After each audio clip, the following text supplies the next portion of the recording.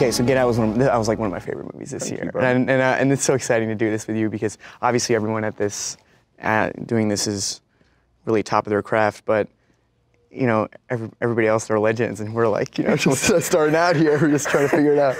So what? Um, I guess questions you've been asked a thousand times, but what what? How'd you hear about the project? Was there an audition process? How'd you get into it? Or- It was a weird situation because um, I uh, I did this show called Black Mirror Right. back in England, 2011. Bing. Bing. Oh, you know. Jesus. See, this is surreal to me. Like, it's surreal to me that it still lives. So I did it in 2011. Nothing really happened in England. And then Netflix happened. So Netflix happened, like 2014, 2015. And then Americans started watching this show that I did like three years before. And then Jordan Peele watched it. Uh, and then he was he had the script, and I, I read the script, and I was like, "Yo, this script is insane!" Like, Yeah, yeah. I was like, "Are you allowed to?" Do? You know, it, it just felt like it cost him something. Mm-hmm. You know, I always think that's really exciting to work with a filmmaker that's like putting it all on the line. Do you know what I'm saying? Stuff that's not. And then we Skyped, and then later it took a couple months, and then I had a film called Sicario coming out. Right. And then in the press run, I went to audition for the role, and then I got it. And that was in London or LA? That was in LA. That was in LA. So I went to, the premiere of Sicario was in, in New York. Then I went to LA. I was like, I should And just you read in LA. That's always a good feeling. That always makes you feel like you know you're in LA, you're making moves, and it's, it's, it's always good to. I always feel like it's always good to uh, to be there. You have to be there. You in front of the to- to- person. yeah, yeah. So you don't like self tapes as much. I do. I've got Sicario for self tape. Okay. But like sometimes it's, it's people have to see you and know you. No, it's true. And s- sometimes you do a self tape, and there's a simple note the casting director is giving everybody, because everybody keeps making the same mistake. Yeah, yeah, if yeah, you do it at home. Yeah. Also, at home you can control too much yeah, sometimes too. yeah. I find. How did you get to uh, call me by your name? So. Which is amazing. And Hey, you're amazing man. in it, bro. Honestly. And thank you so much because uh, you were at the screening the other night, and that was cool seeing a bunch of older people, none of whom I know, coming out the screening room and then being like, "There's Daniel." We're gonna have this nice conversation soon. Um, I was 17. Uh, my uh, my agent Brian Swardstrom, he represents Tilda Swinton, and she's the actress that's the lead of a lot of his other movies, like I Am Love and A Bigger Splash. And they had this project that didn't have a script yet called Call Me by Your Name, and Luca was a producer on it at the time. So Brian said meet with this kid in New York, and we had a great meeting. And very very thankfully, Luca doesn't audition his actors. He never has. So uh, and then it was like a like a loose attachment thing, but it, even at a young age, it became clear in show business. You know, you become attached to these things, and most of them never come to any sort of mm, mm, fruition. Mm, so, uh, and it was just a waiting game. You know, we thought maybe that summer it would happen, it didn't happen. Maybe the summer after that it would happen, it didn't happen. You start losing hope a little bit. Then finally, like three years into it, then it then it happened. So, So it was a three year process. say it again. It was a three year process. It was like a three-year, yeah. I mean, the the yeah, and, and in many ways, it feels like the project of my youth or something because I've just it's been on the periphery for so long. So it really was. And then we shot it, and now it's been in a, uh, like a year and a half process to get it out. So Yeah. I'll be, you know, I'm gonna be 22 soon, and I, I heard about him when I was 17. for the So, like, in terms of like him not auditioning people, so how was that meeting then? What is he? What do you feel like he was trying to see out of you? Well, I, I like that, and I, and I have this impression with other people I meet with. Sometimes I'm curious if you have it too. They're just like sussing you out, and they're feeling out your vibe, which is weird because you don't want to be fake or. Certainly, there's a level of artificiality to all of this, but like, you want to be real. But then you see, like, when else do you eat with someone and they're just like, like judging you and like, making assumptions about you? Dates, yeah. Elio Oliver, Oliver Elio. How you doing? Nice to meet you, Elliot. You must be exhausted. A little bit. Come, come, come. May I bring your things up to your room? Uh, sure, yeah. My room. Follow him. Okay, now this is I'm, again. I'm sure you've gotten this a thousand times, but had you watched Key and Peele before? Were you a fan of it? Bro, I'd watched like we, it'd be I, I got with my friends, yeah, and we'd watch a film together, mm-hmm. and then we go, "What should we do? Let's. Watch go on Key Peele. YouTube Yeah, just watch Key and Peele Peele for two hours. videos, just constantly Key and Peele." But that's what was Totally amazing. sober, too. That's what was so surreal. It was more surreal that Key, Jordan Peele knew who I was. I didn't. Mm-hmm. I, that was like blew my mind because in my WhatsApp groups, that's all you talk about. Is like. And did he say had he watched had he come across that episode of Black Mirror on his own? Was it a casting director that sent it to him? No, he okay. just came across it. That's- But I think it was a time when like a lot of people in in, in the industry um, on a certain frequency had, was just watching Black Mirror. And then it became a thing. So it was before the. yeah, I was part of it becoming a thing. I was like not on the first wave of Black Mirror. Yeah, no, it probably was, bro. But it's like, but it like it became like before the new series came out. So it was like the older. because they re they uh they one they did one with Joe Wright and Right, where Joe right. Wright 'Cause they directed stopped it and and then they brought it back. Is They brought it? it back, yeah. So it was like it was just it's just so it's so so surreal. Is like like, I mean, a lot of the jobs I've got recently have been from stuff I did in 09 or 2010 or 2011. That's crazy to me. So they like Ryan Coogler saw me in a short film that I did in London, like a really low key short film, but he saw it in Sundance. I thought short films got locked in a safe No. somewhere for no one to Listen, see ever. it's random. So he just saw it, and then then he wanted me to do Panther. So then like it was like just loads of stuff, and then Widow, Steve McQueen saw me in a play in 2010. That's so sick. So Now, I don't know how like- much we're supposed to talk about Black Panther or if we're supposed to be talking about the other stuff, but how was that, man? Because I can't wait to see that. was that's crazy, one of the. Marvel ones that's coming out. That's It's so crazy, exciting, bro. man. It's crazy. It's gonna. It's just. It's just so crazy, bro. I, I like. I, I keep on saying it's like. There was a time when Chad came out of. Um, He's so he- good. he's so such a good actor. And then it was in the waterfall scene. He came out. I can't say what happens, but he was walking out into the waterfall, and I got chills. I'd, I've never in the seen scene or no? Huh? I was in the scene. Yeah, I was in the. Is no, I footage just of you watching somewhere but- getting chills? Look at these goosebumps. Like, hey Daniel, let's go again. Um, do the lines. do less chills, Yeah, less chills, Dan. Uh, no, but it was like a massive set piece, and then it was just so special to be a part of. That's that. man. Okay, and you have to cut me off, but I'm all curious about all this. Now with Jordan, I like my experience because I'm a huge Key and Peele fan. Now I know he's like the brilliant auteur that made Get Out. Before, if I had read it, I'm sure on the page it was already like, whoa, this is going to be an amazing thing. But it's just a different world. I'm sure you've heard this a thousand times. So what was like the moment? Maybe it was in a Skype. Maybe you were hanging out with him. Maybe it was on set, but you thought, wow, you know, this guy is actually like a real, really amazing filmmaker. And I mean, mm-hmm. I saw it on the page, man. I saw it like the first line, because I read scripts for fun. Mm-hmm. Like I, I would just Oh, like really? find my favorite films and read them what really? because it's fun. Dude, you're so. That means like I want to read Ferris Bueller's Day Off. I'm No, gonna- it's fun though. I'm Like, stealing like- that. That's such like a good actor thing. Yeah, like, I just think, and then it, it does it give you anxiety? What? Does it make you feel like, oh man, like these movies are so good? Like, No, it just makes you. You go. Well, I, I want to know why I like something. yeah, okay. So then I'm more informed in why I want to say no to something. I want to say yes to something. Uh-huh. So a lot of the time it's just it's know thyself, like you know in yourself, and Mm. so you kind of go, oh, okay, cool, I like this. So when it came in, and it, there was a thing that wasn't even they didn't even make it into the film. It was like an extract from the Bible, and I was like, he knows the world. It was just such a considered. It was was like one of those things where the script had a quote. yeah, a the quote from the. Bible, and I just felt like it's just a feeling you get on the page. It's just like he, he you can tell when a writer knows where they're going. Mm-hmm. It's like a trust, like you know where you're going, and you always know when a writer doesn't know. Don't you, don't you feel that? I, I guess I don't know. There was something I struggle with is the, and I struggle with this when I, even when I was in drama high school. But you have your instincts, and but then you think to yourself too, what I'm 21 or or younger, and you know what do I know? What's nice now is I'm trusting my Yeah. instinct, reading things more. So, but you was in Lady Bird, Yes. which is amazing. I saw it the other week. Yeah, as well. saw it too. So Thank good. you. Um, so like, it's such a special, so well observed, such a well observed film. So, what was it about that script that you was like, oh wow, this is something? You know, weirdly, it was it was a role, but it was really like Greta and Saoirse and getting to work with them Yeah. because Greta I'd seen in Frances Ha, and just reading the script, it was so specific and everything was so detailed, which is what Mm-hmm. I like about the movie because they're relatable, normal characters, but everything is so specific. Like one of my favorite lines I have in the movie is, "I haven't lied in two years," which is like one of the like it's so. Who speaks like that? So. uh, like on the chart, like yeah. and he's like keeping track. It's like, oh, so pretentious. So, uh, um, yeah. So and, and also to work with Saoirse, who uh, was in Brooklyn, and uh, and yeah, I don't know. It, it, and it was just an amazing experience to be in LA, and So you shot that in LA? yeah, that was in LA for two, three weeks, and and uh, it was great to be with Lucas too. He, and he has the other role in that movie because we're both from New York, so we've been seeing each other in casting offices Mm-hmm. Oh, for like four or five years. And you know, he was in Manchester by the Sea, which is Yeah, a movie yeah, that I was diligently waiting in a Yeah. casting office for, and, uh, and never got the call, rightfully, because he's fucking amazing in that movie. Sir, can I see your license, please? Wait, why? No, no, no. He wasn't driving.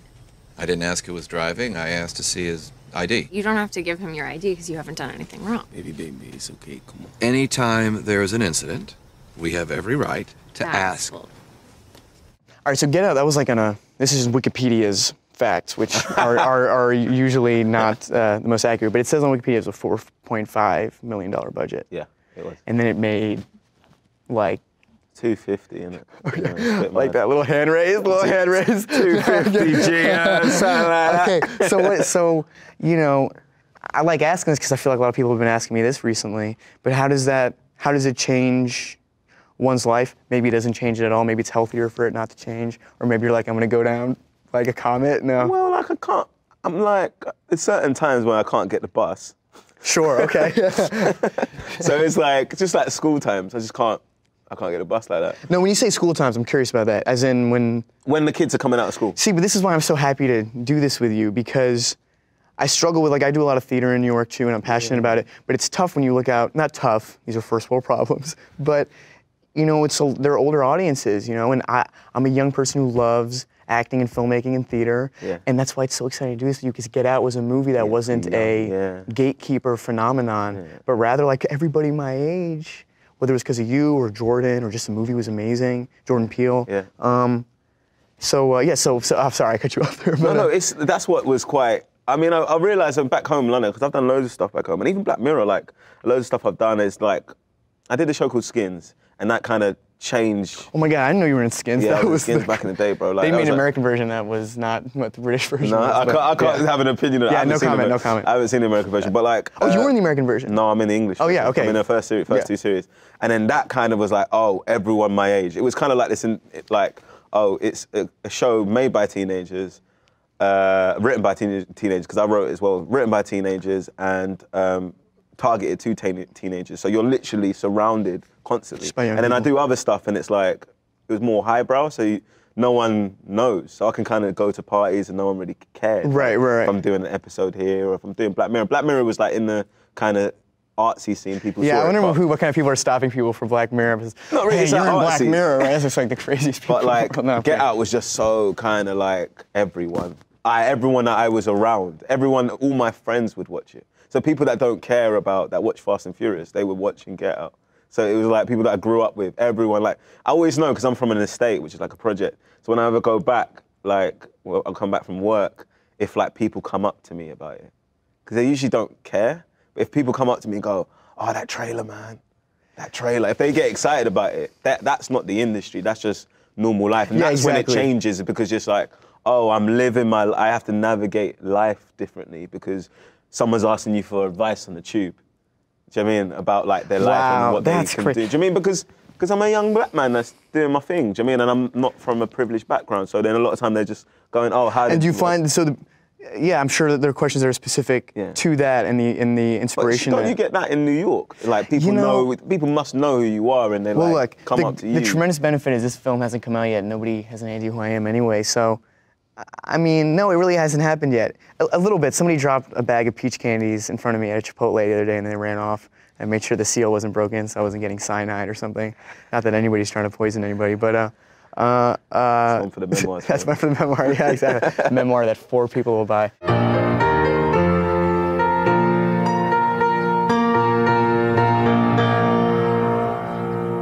I can't believe you changed it again. Oh, I changed it a little bit. Yeah, why? I just played it the way Busoni would have played it if he'd altered Liszt's version. So, and why it'd be funny that it's uh, peach candies for those that haven't seen the film. It's gonna be very weird to explain this, but I don't want to spoil it because it's like Yeah, I it's don't want to spoil it. There's a great, uh, there's a great uh, fruit, fruit, fruit love scene. So when when was that in the shoot? When was that in the schedule? That's a good question. Like, so when was that in the schedule? Were you dreading it? Yes. Or was it was it like kind of like on set? You know, you know like the grips and that. No, like, it's oh, true. It's coming. No, it's true. it's got-" So I have sex with a peach in this film, but it's a great film. Not that it wouldn't be a great film without a. Sex is okay. A, yeah. peach. Yeah. Yeah, I try to have great. sex with fruit in every movie that I do now. Peach Uh, high-end cinema. That's uh, that's. Hey, that's the- yeah. that's In fact, I saw very like I saw a fan-made poster online the other day with a p- big peach on it. That was like super well done. Uh, so that was maybe three, four weeks into the, the shoot, and and obviously you're aware why that would help because first day jitters are all Yeah. you're all over the place, and it just there was the the there, there was an anxiety that was taken away in that Luca, our director, Luca Guadagnino, our director, said he thought maybe it worked better as a literary metaphor in the book, and that it could never really work well as a visual metaphor. And he came up to me, you know, maybe a week or two weeks before shooting. He goes, "Timmy, you know, I tried it, and, and it works." And I was like, "Of course it works, Luca. Like, were you never a teenager? You never-" anyway, so, uh, and uh, we won't get into that now. And uh, That's amazing. Did you try it before? and, uh, next question. And, uh, and, and, uh, so, and it just felt like if it never, as I progress and keep moving the, the conversation along now, it just felt like if it wasn't going to be any good, that it wouldn't be in the movie. So, um, and I just knew the prescription for myself. often I'll, if I'm doing a scene or even like press stuff like this, it's not so much to achieve something. It's to there's like a certain area maybe I don't want to hit. And I just knew in that scene I didn't want to be trying to be funny or or you know, oh god here it is. It's like the prescription is what would truthfully be going and down and it, it read in like the that. scene. It was really truthful, man. Um, so in terms of like, how much did you lean on the source material? it's tough because, and this really is the honest answer, in the moments where I'd be really struggling and couldn't figure out what was going on with the character, it really was like a Bible, it was like an infinite amount Yeah, of stuff yeah, to pull yeah. from. But then, especially in a coming of age movie and like a in a in a in a sexual coming of age movie, like spontaneity, those are my favorite moments in movies like Blues Warmest Color and, and films like that. So I didn't want to lose that. So yeah, I don't know, it's a fine line because you want to be faithful to the book too. So did you get to a point where you're like, I'm not engaging with the book anymore? Certainly like- in the pre-production process. Now, once we were shooting, like I said, if I got lost in a scene, or sometimes I could even say something to Luca, oh, wouldn't you think it, would don't you think it happened like this? And he'd be like, can't because this is how it mm, goes mm, down mm, here. So there was that experience. But certainly the pre-production process, and I'm curious what it's like for you and, and your pre-production process. You know, you do the research, and then at a certain point, you gotta be like, all right, just gotta let it go. I remember I, it was actually on Black Mirror. Like I, feel like I learned a lot doing British TV, and it was Black Mirror, and then we, he did a, a hot seating situation. with Me and Jess Brown Findlay, um, who was in it as well, and then like he asked us questions about the character. I had a question about the character. I mean, literally spent a whole day doing this. It was quite intense because it was like some things he was like, no, I don't think that's right. Da, da, da. Huh. And then at the end, he was like, okay, forget about it. Was like, what? Day's work. right? Uh, and then that he was like, oh no, if it if it makes sense, it will stick. So I kind of adopt that and kind of like before I film something, I try not to watch movies because it makes me too self-aware. I can't watch movies while we're shooting It makes me too self-aware. I watch documentaries sometimes. Documentaries or Yeah, yeah, cartoons? like and then and then but I'll read the script every day. Just read the script every day because I want it to be in my bones. I don't want to be thinking, where am I? So you want to be in a scene going, I know what I know what this is. I know, like And I now know forget out, were you somewhere. shooting in sequence or out of sequence? Uh, see. So you really needed, so you, would, But it's also it was a 23 day shoot. So was 23 days, 23 day that's shoot. So it was like war. So what was the pre-production process with Jordan Peele like? Was there a series of discussions and preparations? Oh yeah, no, we um Or we, he rehearsals? sat down with he sat down with like little groups. We went to a, a house in Alabama Hmm. because he shot in Alabama, and we, we and um we went to a house all the all the cast and main cast. We just hung out for a weekend. That's awesome. It was when Kanye dropped Life of Pablo Ah, we great watched that. And we great- watched the SNL performance when it was released. So it was that weekend. But anyway, so no, that's random. But we went to uh, we went to uh, separate rooms, and Jordan would go off, and then we'll talk about the scene, and then we just improvise. So we go, all right, cool. This is the scene. All right, cool. Put it to the side and let's see, let's feel it. So me and Alison would And go did you? back And for the improv, it's so you're so fucking excellent in this movie, and everyone is so natural. Now, it, and that, that was the other thing I was going to ask you about today, because certainly I even like I I think of one of my favorite Key and Peele sketches, and they are very they're all subtle. But I guess there's humor in Get Out that is that I, I found to be even more subtle than what the sketch Mm. comedy was. So, and was there ever a clear direction in the rehearsal process? Did he ever say to you, "This is this is all supposed to be like real life. This is just supposed to be grounded in reality"? Or, Uh, No, I, I, I kind of wanted that. I- Sure. I've always wanted that. Like I kind of, but that's just my personal taste. Where Okay. I don't want to, the the character feel like they're in the genre that they're in. huh? You know what I mean? So I just, I, I, if I'm Hmm. in Get Out, I wouldn't even and know that's what something genre. I learned. I did this film called Psychoville, and this director Matt Lipsey, he said to me at 19, he was like, I did the scene. It's like a horror comedy series, Mm-hmm. and I did the scene, and I was doing it, and it was like I was, I think I was trying to chat up a Siamese twin. been, I've been Good writing, good I've been writing. around. and then like, and then I did it, and he was like, and he just pulled me to the side, Daniel, and he went, Daniel, never play the funny, always play the truth. And it just, and it just, I always carry that with me. So Mm. I always felt like stuff. And I, so I went to Jordan. I was like, I just wanted to feel grounded. I just wanted to, but that's what I did in the audition. I just kind of was like, just want to play a real guy, and it's he's this is happening, and he just doesn't understand it's happening, but he's trying to figure it out as well. And he's trying to like, so it's all about you want to see his like cognitive like. No, but that's what's nuts. And then it's funny, like you say genre, but I wouldn't even. I, I don't know if Get Out is a horror movie. And it's interesting. I didn't know that you did a horror comedy series prior. Yeah, yeah, so yeah, I've done I've done some stuff. Come on, I get it. White family, black servants. It's a total cliche. I wasn't gonna take you there. I hate the way it looks. By the way, I, I would have voted for Obama for a third term if I could. So you and Armie Hammer Yeah. have a very intense chemistry. How was that like? Did you meet him before? No, it was- You, is it just on set, or how did you map that out? And even the sex scene, how did you map all that out? Well, it was like the random luck of the universe where we had a uh, just a genuine bond, and we never read together beforehand. Uh, Luca didn't read him either. Luca says if I if I desire my actors and I love my actors, they'll they'll love each other too. So That's deep. says deep man. yeah, I don't know, half the things that guy says, I'm like, well, I don't have no idea what I'm not smart enough to know what you're saying. Um, and then once we got out there, ah, it's so it's it's been so strange to have talked about this like for a year and a half and and to say like this is how we did it and because there was no game plan, there's no awareness what we were doing was any good. And it was just about spending time with one another and. Weirdly, the relationship in the pre-production process kind of took on the form of the movie, save for all the crazy stuff. But you know, we were riding around bikes in this small town in Italy, and I'd been there a little bit in advance, so I got to show him, you know, where I was having having espressos every morning, and and and also we weren't in LA. We weren't like he wasn't going home to his family every day. We just hung out with each other a lot and all the time. And I pray you get a working experience with Armie mm. because this is I've been so lucky and even right now getting to talk to you, I feel like I got lucky doing this right now with you because mutual. God forbid, man, it was like so some really scary, uh, you know, intense older. Let me uh, let me ask about so you Yeah. speak a lot of languages. I speak French. I speak French. So in how was Like that like? how was that in working? Have you worked in? No, it's surreal because growing up, you know, I spent my summers in France growing up, but it's really the American parts of my personality and my upbringing that I've always encouraged the outgoing, broken narcissist in me. And or no, you know what I mean. I'm just joking. But like the the desire the desire to uh, be an actor and uh, be a good ensemble member, but. Um, but to speak to speak words, to speak lines, and my French side of me is way more repressed, almost by nature, you know. Uh, and and certainly growing up, you know, I wasn't in the New York equivalent of France. I was in a tiny town called Le Chambon-sur-Lignon. So what's been really kind of trippy about Call Me by Your Name is that acting that's very much uh, an outgoing and a performative thing for me, or not performative, shouldn't be performative, should be like real and honest, is uh, is that this French through line found its way in somehow. So um, I don't know, it's weird. My, my father's French, so he's certainly uh, very excited about it. But yeah, yeah. So like even that. So that's a good segue because one of the scenes that really got me was the conversation with your father.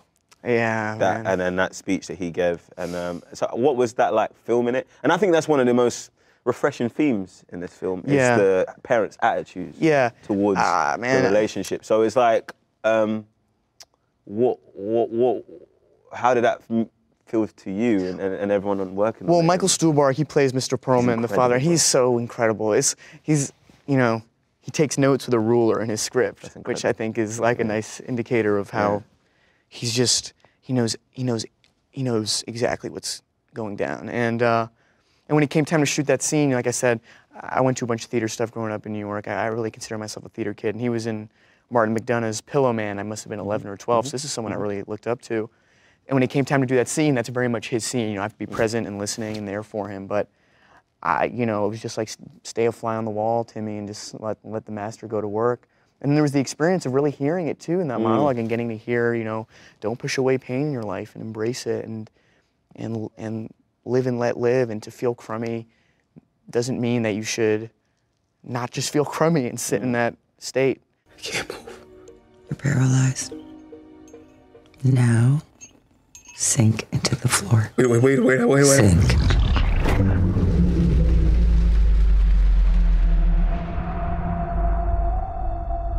This is a scene because I, I was even talking with a buddy on the phone, telling him that I was gonna get, we are gonna have this discussion, an actor friend of mine, and we both, like, we, I was saying, like, what, what are some things you think I can ask? And we both landed on the same thing, and he, he brought it up first, actually.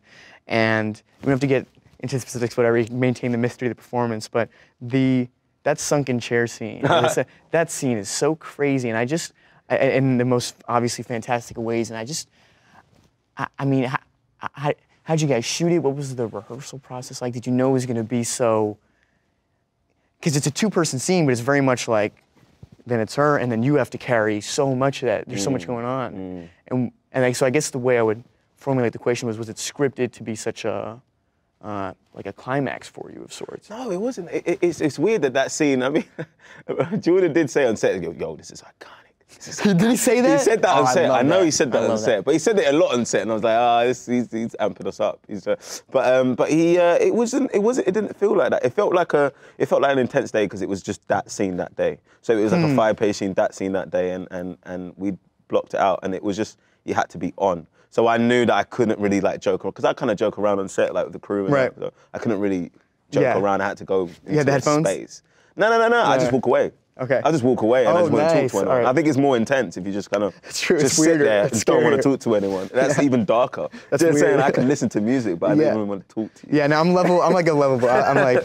Um, so it's Yeah. like, and so yeah, no, I just got, I just kept in, kept in that space, kept in that space, Mm-hmm. and it's just like tapped into, it's just empathy, man, and I tapped Mm. into that kind of like, it just the writing was so good, and I, I, I just tapped into that uh, darkness in me and pain that I've kind of felt in my Mm-hmm. life, and I kind of was just like, cool, let's let's let loose, and also it's just empathizing with someone that's like going through so much and has like suppressed it, kind of suppressed his guilt Mm-hmm. of like a really bad situation. It's shame. Do you know what I mean? And, and also there's reluctance to face it, but he's paralyzed. He's paralyzed emotionally, and I identified that in all walks of life. I mean, it's the same with I don't know sexism. With uh, if something's happening and, a woman can't say anything because she'll lose her job. Do you know what I mean? She's like paralyzed Hmm. in it situationally. So I kind of thought that that's such a dynamic that everyone kind of identify with, and I've identified in so many different ways in this kind of release of emotion that's uncontrollable, Hmm. which is um, I just kind of really identified with. Have you seen The Master? Yes, I have. You know what scene reminds me a lot of that and that, that interrogation scene. Yeah, yeah, yeah, And those yeah, are like yeah. my favorite scenes in movies when actors are just like having to be totally It's present. with one pure. It's pure, and it's just like because it, all it is is emotion and character, and it's someone that's opening up that doesn't want to open up. Do you know what I mean? It's like someone when someone said to me like crying, uh, crying, crying makes is heartbreaking, but some, seeing someone trying not to cry is even worse. Do you know what I mean? So it's that kind of like I, I'm, not, I'm not even happy that I'm crying. I hate this emotion, and it's just like, but I have to give it. And so it's that's that's the str- there has to be some conflict there. Um, but um, so what's next for you? Apart from running the world, So yeah, no. What's next is it's all downhill. yeah. What do And you I- want to do though? What do, What- so where where do you like? It's kind of like the world's your oyster, bro. Like real talk. Like you are just Oh man, you have got the juice. dude, yeah? thank you. So wow, like, so man, and that was filmed, right? I have I have Daniel So Kaluuya saying that to me now, right? But so it's just like what what do you what you're doing at the moment? What you want to do? What do you aspire like Hmm. Well, for? I, and- I don't know. You know, uh, it's. I, I don't know if you have this experience too, where you know things have been going very well, and I feel like I have to suffocate the moment with appreciation or Mm-hmm. something, and really sit in it, and that's tough because. Um, I don't know. Uh, not tough. These are great things, but uh, it's tough, bro. no, if it's you find weird. it tough, it's tough. yeah, it is what it is. Yeah, you're, everyone's entitled to their. Yeah, because it's just like you're right? just navigating a new space. that That's what it feels like. And also, I don't want to. It's tough because I don't want it to be the kind of thing where, because I even watch things I did when I was 19, and at 21, I go, man, I'm so thankful that I have two two years now on that. And I, Yeah. I just know I'm gonna watch things four or five years from now and go, oh man, I was clueless. Or God forbid, I'm like, that was those are the glory years, you know. now I'm all washed up and miserable. So I don't know, you know. I just want to work.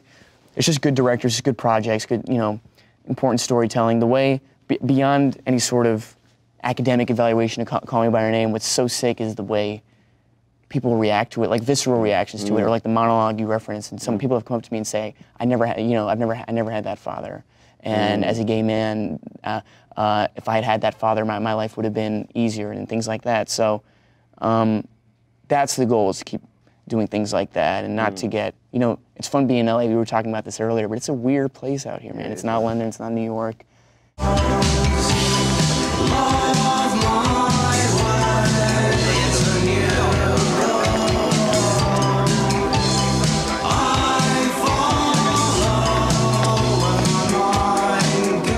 so okay, so there's Get Out, and then you have the bigger movies that's, that are coming too. And so is there a, is there a goal for something else to do? Where you're taking it a day at a time? Or you riding the wave? Like what's the philosophy? And actually, give me some advice here because uh, you probably you lead the way a little bit. Oh, thanks, bro. Uh, I kind of just feel like I did get out not because it was big, but because I believed in it. Right. So, and it happened to do what it did. I think I've got populist sensibilities. Just growing up, I didn't grow up in the industry, so and I and I love highbrow cinema and, and like art house cinema, so I always would look for both, and I ideally look for both in the same project. Do you I mean someone that knows what they're doing? So I kind of just like, listen, if I feel it, if I feel it, then I feel it. Mm-hmm. Then my friends will feel it too because I'm around my friends. Do you know what I mean? I just want to make stuff for my friends. Like, my friends Dude, this like- is. Do you mean I want to be like, friends with your friends. Yeah, I you mean it's just like I want my friends to go, oh, like I really enjoyed that. Or like, the stuff that your mum would go, oh yeah, I really like that. Do you know I mean? And she watched Queen of Katwe and she loved it. As you I mean? opposed to like. As opposed to, it's got to be doing something for, like, to serve. You're there to Right. serve. Do you know I mean? And so, if for me, it's just like on the page, do I feel it? And then kind of, and if the director, if I, I'm very lucky that I've been working with people that I'm a fan of them already. Mm. Like I was watching the film, I was watching Black Panther anyway. Right. Like I just, don't, I don't know how I've managed to be in it. So it's just like, just keep. And that's a good feeling. It's not intimidating. yeah, no, we just keep doing that and like and being present because sometimes I may feel like I want to do this and it may be right to do a musical or whatever. Or whatever. Because I grew up and. Oh my gosh, you're doing a musical now? No, I'm not doing a musical, bro.